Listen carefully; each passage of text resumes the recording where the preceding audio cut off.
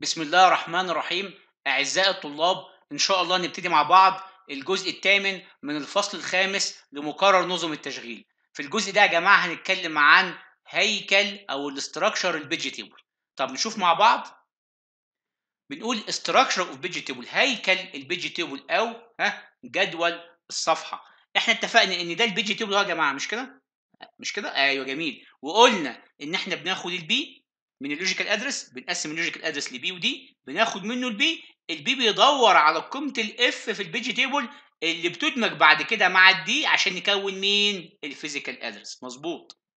جميل. طيب بنقول إيه كمان؟ بنقول خلي بالك ال structure ده مش غريب عليك شفته قبل كده؟ لكن ها خليك واعي لحاجة مهمة جدا. إيه هي؟ إن كل process لها ال page table الخاص بها هي معقول؟ آه معقول. ليه؟ لأن إحنا اتفقنا دلوقتي إن اللي بيحكي حكاية ال process في ال main memory هو ال PCB فبيقول لك إن كل page table بيخزن في ال PCB بتاعها. معاه آه.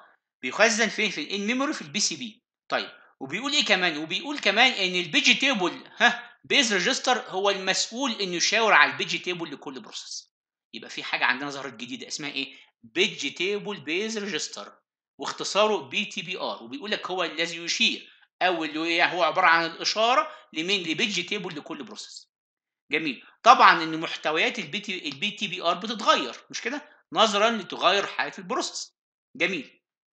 وبيفكرك بيقول لك دلوقتي بوجود ال page table ده يا جماعة أصبح الوصول لل memory يتبع خطوتين.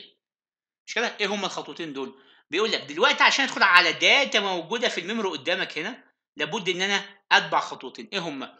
أقول بيقول إيه؟ بيقول أروح الأول لل page table دي أول خطوة رقم واحد access لل page table أدخل على ال page table وال page table ها رقم اتنين بيديني قيمه ال F اللي منها أدخل على ال data. إذا الدخول ال data مش مباشر عن طريق خطوتين مرة عن طريق إن أدخل على ال page table ومرة تانية إيه ها الدخول إيه عن طريق ال physical address لمين؟ لل data المرغوبة.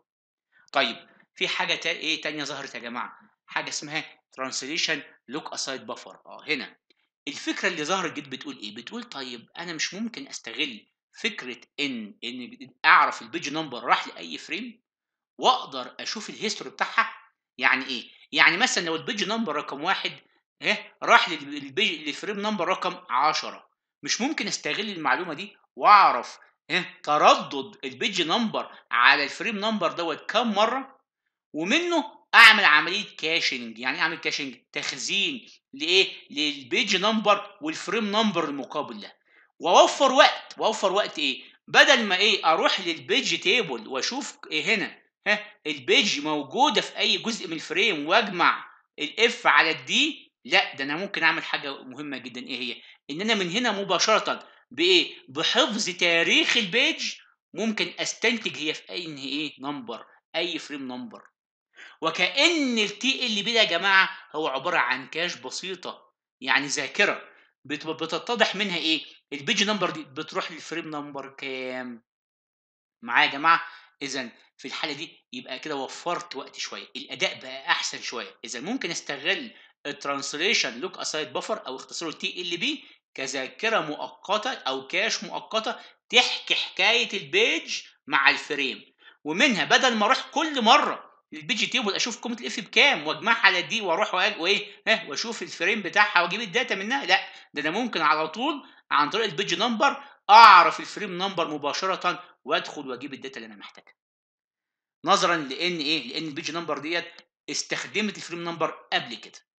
جميل. كده وفرنا وقت؟ آه. هل الأداء علا؟ آه الأداء علا. بقى أحسن من الأول طبعا. مش كده؟